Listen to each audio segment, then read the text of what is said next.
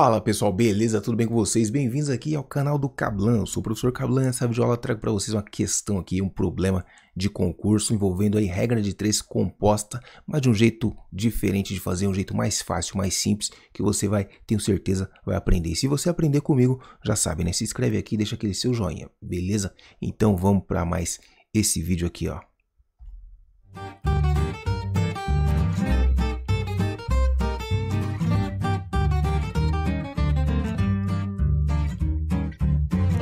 Isso aí, rapaziada. Vamos ler o vídeo aqui, vamos ler aqui o problema. Então o problema aqui é o seguinte, tá lá, tá escrito aqui, ó. Cinco trabalhadores de produtividade padrão e trabalhando individualmente beneficiam ao todo 40 kg de castanha por dia de trabalho de 8 horas. Considerando que existe uma encomenda de 1,5 tonelada de castanha para ser entregue em 15 dias úteis, quantos trabalhadores de produtividade padrão devem ser utilizados para se atingir a meta pretendida? Trabalhando aí 10 horas por dia. Então já sabe, né, meu? Pause o vídeo, leia atentamente e depois vem ver como é que faz, certo? Então olha aqui as informações que nós temos aqui, ó. São cinco trabalhadores. E cada é, cinco trabalhadores conseguem fazer aí, ó, 40 kg de castanha por dia. Então um dia de trabalho, né? Por dia de trabalho aí. Além disso, ó, trabalha 8 horas. Tá bom? Então são quatro informações, ó. Trabalhadores, quantidade de castanha, dia e horas por dia.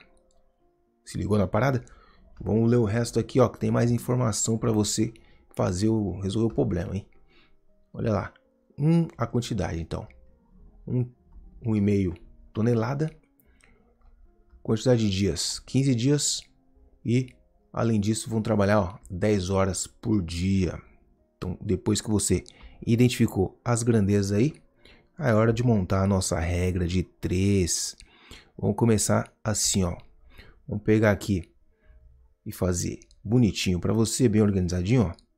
Uma coluna para a quantidade de trabalhadores, uma coluna para a quantidade de castanha, uma coluna para o tempo, né? Horas por dia aí que, que eles vão trabalhar, né? E além disso tem a quantidade de dias também. Feito isso, vamos colocar agora aqui, vamos preencher, ó. Nós temos aqui cinco trabalhadores, cinco trabalhadores.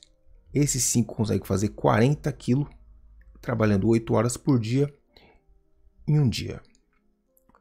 Tranquilo? Pois bem, agora nós temos que saber quantos trabalhadores serão necessários, né? então não sabemos, chamar de x Atenção que está em tonelada, hein? Não pode trabalhar com duas unidades diferentes. Então vamos transformar primeiramente, ó, 1,5 toneladas em quilo. Então é só multiplicar por mil aí você tem aqui, né? A conversão, 1.500. Então vamos usar esse valor, hein? 1.500 aqui, ó. Quantidade então que tem que fazer aqui, 1.500 quilogramas. Trabalhando aí 10 horas por dia. Quantos dias? 15 dias. Pronto, ó, montou a regra de 3. Agora você vai fazer o quê? Vamos pegar aqui ó, a propriedade, a grandeza que tem o valor desconhecido, né, que é incógnita, que é trabalhadores. Vamos pensar da seguinte forma: ó. se você aumentar a quantidade de trabalhadores, o que vai acontecer com a quantidade de castanha? Vai aumentar também. Se você aumentar a quantidade de trabalhadores, o que acontece com a quantidade de horas diárias? Então você vai trabalhar menos por dia, né? Se tem mais trabalhador, mais gente trabalhando, trabalhar menos. E, consequentemente, também menos dias. Então você tem aqui, ó, grandezas diretamente proporcionais, trabalhador e quantidade. E grandezas inversamente proporcionais é trabalhador e horas por dia. Tranquilo? Então, agora que vem o macete, ó. Isso aqui você não vai ver em lugar nenhum, só aqui no canal do Cablan, que é o que? O método cabeça e bunda. Aqui é a cabeça, né? A cabeça, vou chamar aqui de cabeça, e aqui, ó, é a bunda. É assim que você vai decorar isso aqui, meu filho. Cabeça e bunda.